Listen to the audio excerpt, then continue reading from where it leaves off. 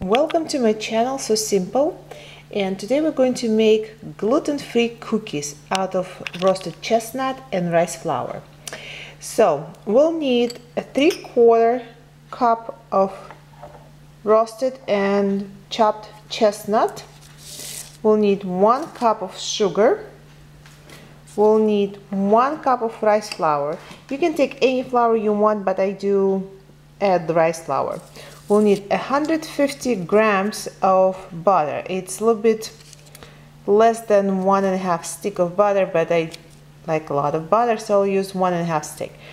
We'll need one egg yolk. It's actually a great recipe for somebody who has um, allergies to egg whites. We'll need a little bit of baking soda. I like to add vinegar to it or you can use a half teaspoon of baking powder. It's either half teaspoon of baking soda or half teaspoon of baking powder. It half a teaspoon of vanilla, some cinnamon for the topping if you want to sprinkle on top of your cookies, and we'll need four tablespoons of starch. So starch is going to be our glue instead of gluten. That's interesting how the word came from gluten and glues together. So the starch is going to be our glue, glue all of these ingredients together. So let's start. The butter should be at the room temperature. It's a very easy recipe and um, all we do is we just mix all ingredients together. As I mentioned before, our butter should be room temperature. So it's very soft and we are just putting it all together see I'm going to use this little wooden spatula. And then we'll add one yolk.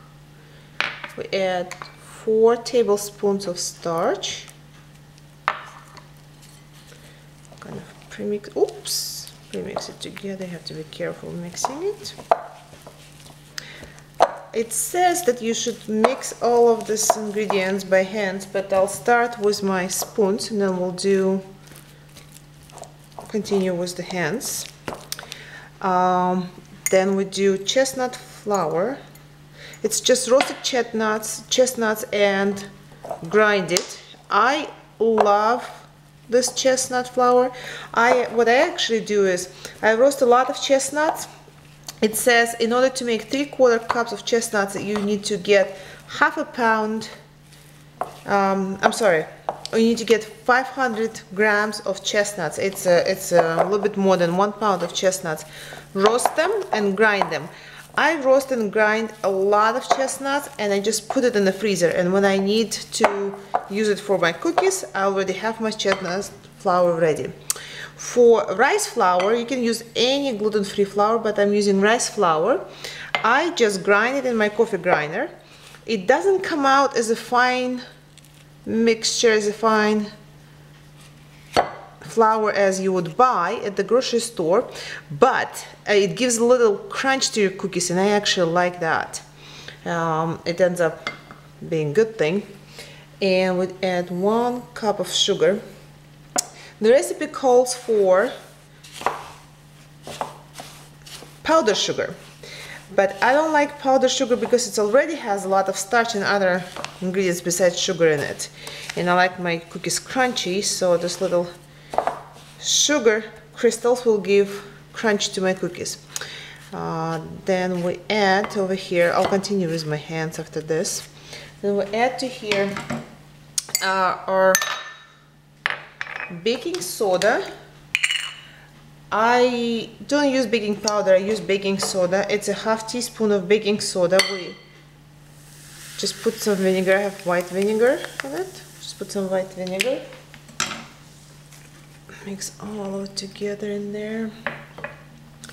And we do half teaspoon of vanilla. You can take any vanilla extract you want but the natural vanilla is always the best let's see. That's it. And now we can mix all of it together by hand. And we need to make little bowls. And those are going to be our cookies. And we'll put it on parchment paper. And we'll bake it. Um, the cinnamon goes on top of the cookies after they baked. I actually like to add if you're not allergic to nuts, I like to add either sesame seeds or nuts or some other type of seeds for just kind of make it fun. So you know what, I'm not even going to mix it with my hands, it's already done. It's nice crumbly, oh it smells really good.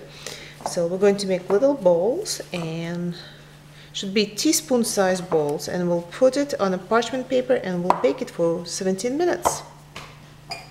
To make sure that our cookies are unified, I'm going to use this ice cream scooper and you just scoop it like that and then this will let you know this way you'll make sure that your cookies are the same all the same size. So and then what I like to do is I have a sesame seeds here. I just drop it and just roll it around like this. You can use your spoon you can use your hands. And then I'll put it on a cookie sheet just roll it like that and then you put it on the cookie sheet. I have my old cookie sheet with not a parchment paper. This is a Teflon paper. It's non-sticky paper. It doesn't feel like paper. It feels like something else. So and then you put your cookies on the baking sheet like that. You can roll it in chia seeds, you can do sesame seeds, poppy seeds, you can do all kind of seeds, or you can just do plain cookies. So we'll continue doing this way, and we'll put it in the oven afterwards. Your cookies don't have to be perfect. That's um, the beauty of the homemade cookies. You'll just keep going and keep putting your cookies in sesame seeds if you like sesame seeds. The recipe, the original recipe is actually not calling for any seeds or anything. You just make little balls like this and you put it on a baking sheet. But I like sesame seeds. I like to add healthy ingredients as much as I can into something. If I can add some seeds, I'll add seeds. If I can add spinach to my milkshake or Swiss chard, something that you won't really eat a lot raw, then I'll do it and my kids would not even notice.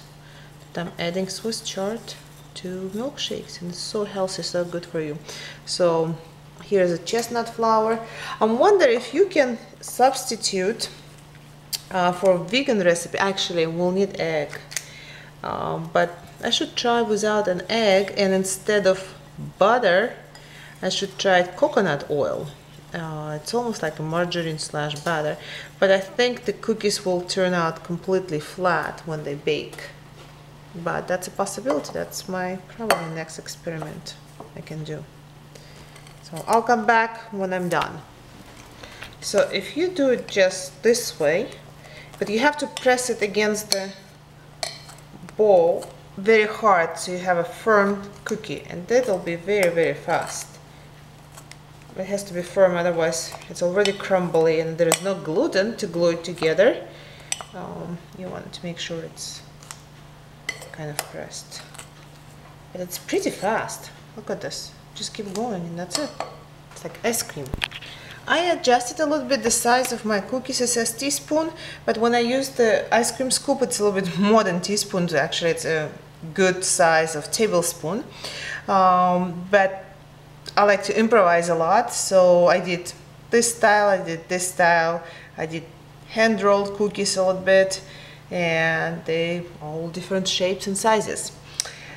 So we're going to put it in the oven for 340 degrees Fahrenheit or 170 degrees Celsius between 17 to 20 minutes.